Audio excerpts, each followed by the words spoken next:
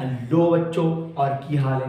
देखो time table के video पे तुमने जो बेस्ट रिस्पांस बताया सबसे पहले उसके लिए तो थैंक यू ठीक है? आज के वीडियो में अपन देखने वाले हैं कि स्टडी कैसे करना। तुमको मैंने आंसर राइटिंग का वीडियो दिया टाइम टेबल का वीडियो दिया, और अभी यूट्यूब और दूसरे ऑनलाइन टेक्नोलॉजी की वजह से पढ़ाई में स्टडी मटेरियल इतना हो गया कि पूछो मत। हमारे पास अच्छे अच्छे रिसोर्सेज है पढ़ने के लिए, ठीक है? ज़्यादा से ज़्यादा मटेरियल है। पहले की तरह नहीं है कि क्या पढ़े, ये भी समझ में नहीं आ रहा है। अब अपने पास सोर्सेज बहुत ज़्यादा है। लेकिन किस तरीके से पढ़ना इसका आइडिया अपने को नहीं आया वाला है। तो आज की वीडियो में अपन सारी बातें उसी पे करेंगे, ठीक है?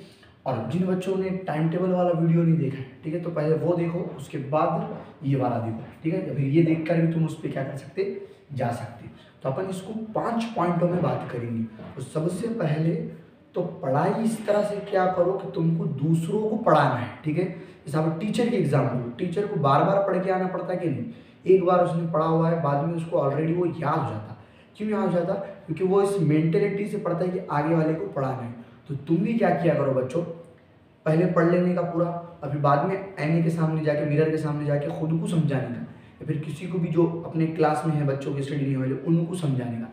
इससे तुम्हारा वो दस गुना परफेक्ट हो जाता है ठीक है? तो पढ़ो ऐसे कि तुमको बाद में वो क्या करना है? पढ़ाना है। और अगर सब्जेक्ट की बात करें, अब हर सब्जेक्ट तुम एक जैसा नहीं पढ़ सकते। जैसा हिस्ट्री हो गया तो उसको मैथ के जैसा नहीं पढ़ सकते मैथ को हिस्ट्री जैसा नहीं पढ़ सकते। तो जो सबसे पहले जो थियोरटिकल सब्जेक्ट है हिस्ट्री हो गया, फिर जोग्राफी हो गया, फिर लैंग्वेजेस है तो उसका क्या करने का कंसेप्ट जहन में रख लेने का। जैसा हिस्ट्री है तो हिस्ट्री का जो चैप्टर है, उसके पीछे क्वेश्चन आंसर आते हैं। वो क्वेश्चन आंसर को देख लेने का कि किस टाइप के क्वेश्चन पूछ रहा है। और प्रीवियस ईयर में अगर कुछ क्वेश्चन आए वाले उस चैप्टर में से तो वो देख लेने का कि कहाँ कहाँ से सवाल पूछ रहा है। फिर जब तुम चैप्टर पढ़ेंगे तो उन बातों पे ज़्यादा ध्यान देते हुए क्या करना है, उस चैप्टर को पढ़ना है। और जैसे चैप्टर पढ़ लिए तो आंसर लिखने की प्रैक्टिस करना है। और पूरे जो की पॉइंट्स है चैप्टर के, वो रिटर्न करना है, ठीक है? राइट करना है आपको। क्यों? तो तुम जो पढ़ेंगे, पढ़ने का उतना असर नहीं रहता। जब तुम लिखेंगे वो तो तुम्हारे एक बार जब हाथ के नीचे से जाएगा वो तो लाइफ टाइम तुमको वो याद रहता। कंसेप्ट अंडरस्टैंडिंग हो गई अपने को कि उसको रिटर्न करना है। और फिर जो दूसरे सब्जेक्ट है मैथ वगैरह हो गया या फिर साइंस में कुछ डायग्राम्स है तो उसको क्या करो डायग्राम पिक्चर को आँखों से देखो वो ज़्यादा याद रहता। तो जहाँ तुम्हारी जो स्टडी टेबल वगैरह है, वहाँ पे क्या करो, वो डायग्राम फॉर्मूले इक्वेशन वगैरह, जो सारी चीज़ें, वो क्या करो, बना के चिटका दो। उसको एक स्पेशल टाइम देने की ज़रूरत नहीं है। वो बना के रख दिए तो अपना जब भी पढ़ते बैठेंगे, उस पर नज़र गई कि उसका रिविजन हो जाता। और जब तुम तो प्रैक्टिस करेंगे तो वो खुद वो खुद ऑटोमेटिकली माइंड में क्या हो जाता? फिक्स हो जाता। ठीक है? अब आ जाओ नोट्स पे, तीसरा पॉइंट नोट्स का है।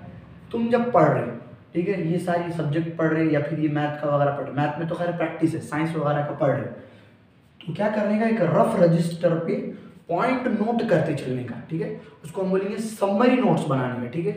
बाद बच्चे क्या करते नोट्स ऐसे बनाते किताब में प्रिंटेड था और वही चैप्टर हैंड रिटन इनके नोटबुक में। पूरा का पूरा जैसे कि वैसा छाप देते। वैसा नहीं करना है। की पॉइंट्स याद रखना है, ठीक है? और जो पॉइंट अपने जहन में आ गए बार बार बार बार उसको लिखने की ज़रूरत नहीं है। नोट्स बनाते वक्त शॉर्टकट का यूज़ करने का और जो मेन मेन पॉइंट है, वो पॉइंट्स को याद रखने का, ठीक है? और जब भी तुमने मान लो जैसे कैपलर्स लॉ पढ़ है, इसमें तो उसके जो नोट्स बनाए तो प्रीवियस ईयर में कौन से सवाल आए वाले हैं?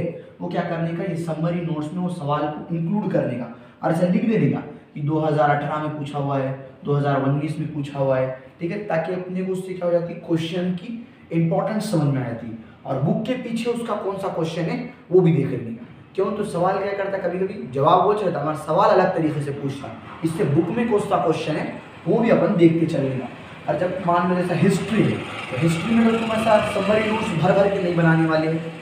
तो क्या करने का हिस्ट्री में हाईलाइट करते चलने का? जैसा अब कोई अकबर की हिस्ट्री है या फिर तुमको कोई भी चैप्टर है, ठीक है? फॉरेस्ट वगैरह के बारे में। तो उसके जो मेन मेन पॉइंट है, उसको हाईलाइटर वगैरह आते ना तो वो हाईलाइटर से क्या करने का? बातें हाईलाइट करते चलने का। कोई भी कलर का हाईलाइटर लो और उससे बातें क्या करते चलो?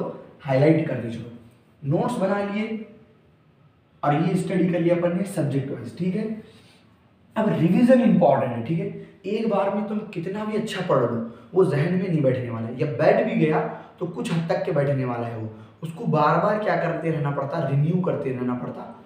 तो उसके वास्ते रिवीजन सबसे इंपॉर्टेंट है। जितनी इंपॉर्टेंट पढ़ाई है, उसके बराबर इंपॉर्टेंट है रिवीजन एक बार अपन ने पढ़ लिया। जैसे मान लो आज तीन घंटे बैठा था मैं या चार घंटे बैठा था। तो जो सारा मैंने पढ़ा, अब अगले दिन जब मैं बैठूँगा तो पिछले दिन का सब क्या करूँगा मैं? थोड़ी देर रिवाइज करूँगा। दस से पंद्रह मिनट में। जैसे तुम सीरियल देखते हो, क्या होता? एक एपिसोड हो जाता। फिर अगले एपिसोड में क्या करता? पुराने एपिसोड का रिकैप बताता? कि इससे पहले आपने देखा। तो सेम टेक्निक अपन भी यूज़ करने का क्या करने का? रिविजन को। डेली डेली रिविजन करने का। आज जब मैं पढ़ने बैठा तो मैंने कल क्या पढ़ा था? वो सारी बातें मैं रिवाइज करूँगा। आज के टॉपिक से अगर रिलेवेंट नहीं भी है वो, तब भी मैं उसको क्या करूँगा? रिवाइज करूँगा। और फिर एक बोनस वाला जो संडे को संडे रिविजन संडे को संडे रिविजन पूरे छः दिन में जो जो अपन ने पढ़े वाला है, वो सारा संडे को रिवाइज दूँगा। हर चैप्टर का, हर सब्जेक्ट का, ठीक है? और इन चारों बातों को याद रख लिए। तो इसके बाद कुछ बातें हैं जो अपने को माइंड में रखना है right things to keep in a mind कभी भी पढ़ते बैठे, ठीक है? स्टडी जब भी कर रहे तुम तो। क्लास वाइज के हिसाब से अपन ने टाइम टेबल में टाइमिंग दिए वाली है। तो क्या करने का? एक्सरसाइज करके बैठने का। थोड़ा सा अपनी बॉडी जैसे रात के टाइम में पढ़ते बैठे तो पूरा स्कूल वगैरह का सब अपन थकान में रहते, या फिर सुबह कुछ बच्चे पढ़ रहे थे, एकदम नींद में से उठे वाले तो बॉडी अपनी थोड़ी इनएक्टिव थी तो थोड़ी सी क्या करने का? पाँच एक मिनट एक्सरसाइज कर लेने का। ठीक है? कुछ भी ऊपटांग हरकतें कर लो, या फिर वन टू थ्री फोर कर लो, कुछ भी करो एक्सरसाइज करो पाँच मिनट ठीक है? और ब्रेक लेते जाओ, जब भी तुम पढ़ेंगे। ठीक है? तीन से चार घंटे पढ़ रहे तो उसमें पाँच पाँच, दस दस मिनट के ब्रेक लेते जाओ और मिनिमम कब? तीस मिनट बैठे तो उसके बाद ब्रेक आना, ठीक है? ऐसा नहीं है बीस मिनट बैठ के, दस मिनट का ब्रेक बीस मिनट बैठ के, दस मिनट का ब्रेक वो काम का नहीं है। मिनिमम तीस मिनट बैठने का और उसके बाद क्या करने का? ब्रेक लेने का। और स्लीप अपनी बराबर रहना, ठीक है? स्लीप स्लीप जो है अपनी, ये एकदम अप्रोप्रिएट रहना। सात से आठ घंटे अपनी नींद होना, ठीक है? सब बारहवीं वगैरह में बच्चे तो होता छः घंटे की नींद साइंटिफिकली ऐसा प्रूव है कि छः घंटे ही काफ़ी है। बकवास बात है। ब्रेन को जैसे तुम ट्रेन करेंगे, उस हिसाब से स्लीप अपने को काफ़ी हो जाती है। सात से आठ घंटे की एकदम बेस्ट स्लीप है। ठीक है? और टाइम टेबल कैसा है? फिक्स करते जाओ चीज़ें। तुम क्या करेंगे? जब टाइम मिलूँगा, तब पढ़ूँगा बोले। तो वो ज़िंदगी भर तुमको टाइम मिलने वाला है नहीं। ठीक है? टाइम एकदम फिक्स बनाने का टाइम रात का बनाओ या दिन का बनाओ टाइम टेबल में मान लो मेरे को आज क्या करना है? सिक्स पी पे पढ़ते बैठना है। और किसी वजह से मान लो ट्यूशन या फिर कॉलेज स्कूल की वजह से मुझे ये टाइम चले गया सिक्स बीस, आने में लेट हो गया छः बीस हो गए। तो बच्चे क्या बोलते हैं? दस मिनट में क्या करूँगा कुछ मोबाइल वगैरह देख लूँगा और फिर साढ़े छः मतलब सिक्स थर्टी से पढ़ते बैठूँगा। तो इसमें क्या होता? ये दस मिनट कब बीस मिनट में बदल जाते हैं? मोबाइल के साथ समझ में आता नहीं ठीक है? लेट हुआ ना, फ़ौरन बैठ जाने का, ठीक है? और जितना लेट हुआ, उतना टाइम आगे क्या कर देने का? एक्सटेंड करने का। मान लो मैं छः से दस बैठने वाला था, मेरे को बीस मिनट लेट हुआ तो मैं दस, बीस को उठ जाऊँगा पढ़ाई में से, ठीक है? और मुहूर्त मत निकालो, ठीक है? जैसे अपन ने रात में पढ़ने का बोले वाला है वहाँ टाइम फिक्स नहीं करें। जैसे अपने को कभी क्लासेस लेट हो रही है, या फिर स्कूल लेट हो रहा है, इससे अपन अगर टाइम फिक्स नहीं करे, सिर्फ़ इतना बोल दिए कि रात में मैं चार घंटा, तीन घंटा पढ़ते बैठूँगा। तो जैसा टाइम मिला, वैसा बैठ जाओ। मुहूर्त मत निकालो कि ये टाइम पे, ये टाइम पे पढ़ेंगे। क्योंकि वो मुहूर्त ज़िंदगी भर नहीं आने वाला है, जो तुम निकालेंगे। ठीक है? और जो टाइम टेबल अगर बना दिए तो टाइम टेबल को स्टिक रहो ठीक है? बार बार उसमें हेयर पेज करो मत और उसको फॉलो करो। और एक बात और प्रोक्रास्टिनेशन को अवॉइड करो ठीक है? अपना ब्रेन क्या बोलता? जैसे आप ट्यूशन से स्कूल से वगैरह है। तो थोड़ी देर इंजॉयमेंट करेंगे मोबाइल से या फिर कोई भी टीवी वगैरह से, और उसके बाद पढ़ते बैठेंगे और वो बात हुआ करता टाल टालता तो ये मत करने दो, ठीक है? तुम क्या करो, उसको टालो। ये बोलो कि अभी पढ़ लेंगे और उसके बाद आधे के बजाय एक घंटा मोबाइल देख लेंगे, ठीक है? और क्या करो प्रोक्रास्टिनेशन को अवॉइड करो। बातें टालना मत सीखो, ठीक है? और टॉपिक भी कुछ पढ़ रहे, ठीक है? जैसा आज कल टेस्ट है और आज अपने को ज़्यादा पढ़ने का है। या फिर परसों टेस्ट है तो क्या करेंगे? कल पढ़ लेंगे, बोलते बच्चे। और वो कल पूरा टेस्ट भी हो जाता है एग्ज़ाम आ जाते फाइनल में, और वो कल कभी आता नहीं।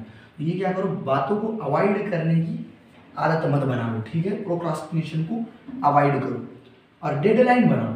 तुमने देखे होंगे, अपने जो टाइम टेबल आता है टेस्टों का पेपर होगा, ठीक है? अगर दो पेपर में पाँच दिन का गैप है ठीक है? तो पढ़ाई ठीक से नहीं होती। वो अगर एक दिन का गैप रहा तो ये एक दिन में क्या हो जाता? बंदा फोड़ देता। किंतु तो पाँच दिन में कैसा होता? दिमाग बोलता, कल कर लेंगे, अभी चार दिन है, कल कर लेंगे, अभी तीन दिन है, कल कर लेंगे, अभी दो दिन है। और ऐसे ऐसे पेपर आ जाता। मगर पढ़ाई होती क्या नहीं होती? वो जो अगर एक दिन का गैप है तो क्या होता? कुछ नहीं भाई टाइम नहीं है, बस अब करना है तो करना है। तो क्या करते जाओ जब भी पढ़ेंगे तो डेड लाइन बनाते जाओ कि एक चैप्टर ये है ग्रेविटेशन है ग्रेविटेशन को बस तीन दिन में ख़त्म करना है, ठीक है?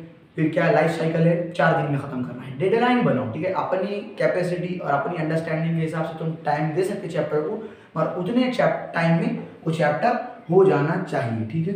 और सबसे लास्ट इसमें और काम की बात। सारी बातें मैं तुमको बता दूँगा या फिर बहुत सारे यूट्यूबर भी तुमको बता देंगे। मगर एक चीज़ है, करना तो तुमको ही और कंसिस्टेंसी के साथ करना है। ऐसा नहीं है कि आज वीडियो देख लिए मोटिवेशन आ गया, चार के बजाय आठ घंटे पढ़े और अगले दिन चालीस मिनट भी नहीं पढ़ सके। ये ऐसा काम का कुछ नहीं है, ठीक है? रोज़ चार घंटे के बजाय दो घंटे काम किए, ठीक है? जैसे तुम हफ़्ते में चार चार बार, चार चार घंटे बैठ रहे दो दफ़ा तो वो काम का नहीं है। रोज़ दो दो घंटे बैठे वाला काम का है, ठीक है? कंसिस्टेंसी ज़रूरी है, ठीक है? अभी करेंगे तो ही ठीक है। अभी नहीं तो कभी नहीं। बात को याद रखो। ये सारी बातों को जहन में रखो, पढ़ाई करो। ठीक है? और लाइक वगैरह का तो नहीं बोलूँगा मैं, मगर एक बात, ये वीडियो को ज़्यादा से ज़्यादा शेयर करो, ताकि तुम जैसे जो हज़ारों बच्चे हैं, उनको क्या होना इसका बेनिफिट होना, उसका फ़ायदा होना, ठीक है? और बोलो इसके अलावा, जैसे टाइम टेबल का बोले स्टडी का बोले, इसके अलावा और किन वीडियो किन टॉपिक पे तुमको वीडियो होगा, ठीक है? तब तक के लिए टाटा बाय बाय मिलेंगे अपन नेक्स्ट वीडियो में।